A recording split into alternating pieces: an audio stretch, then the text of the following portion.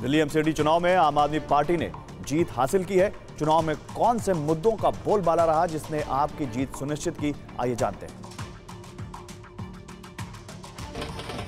दिल्ली नगर निगम चुनाव में आम आदमी पार्टी ने 15 साल से काबिज बीजेपी को हरा दिया। हालाँकि एग्जिट पोल के आंकलन जितनी सीटें तो आपको नहीं मिली, लेकिन बीजेपी को एमसीडी में हराना बड़ी उपलब्धि कही जाएगी। इस बार के एमसीडी चुनाव में जो मुद्दे छाए रहे, उनमें साफ़ सफ़ाई प्रमुख रहा। इसके अलावा दिल्ली के लोगों ने सड़कों और गलियों की खराब हालत को बड़ा चुनावी मुद्दा माना है। आप और बीजेपी दोनों एक दूसरे पर भ्रष्टाचार के आरोप लगाती रही।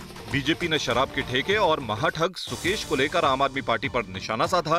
तिहाड़ जेल में बंद, आपके मंत्री सत्येंद्र जैन के मसाज का वीडियो वायरल कर केजरीवाल को घेरने की कोशिश की। आम आदमी पार्टी ने बीजेपी पर दिल्ली को कूड़ा घर बनाने का आरोप लगाया। आम आदमी पार्टी ने खासतौर पर गाजीपुर के कूड़ा पहाड़ को लेकर बीजेपी पर निशाना साधा। बीजेपी ने एमसीडी चुनाव में मुख्यमंत्री से लेकर तमाम बड़े नेताओं को उतार दिया। आम आदमी पार्टी लोगों को समझाने में कामयाब रही कि बीजेपी ने एमसीडी में 15 साल रहने के दौरान काम नहीं किया।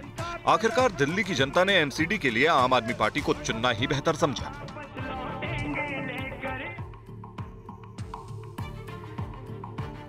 आम आदमी पार्टी ने एमसीडी चुनाव में कूड़े को बड़ा मुद्दा बनाते हुए बीजेपी की आक्रामक घेरेबंदी की थी, जो दिल्ली के लिए एमसीडी चुनाव में बड़ा मुद्दा साबित हुआ।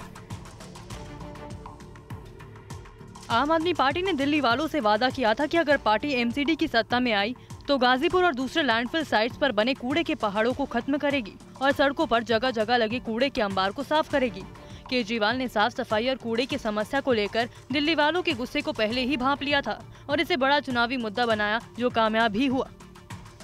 चुनाव प्रचार के दौरान टीवी नाइन ने जब दिल्ली वालों के मूड को भापने की कोशिश की तो हर जगह लोग कूड़े की समस्या से असंतुष्ट दिखाई दिए।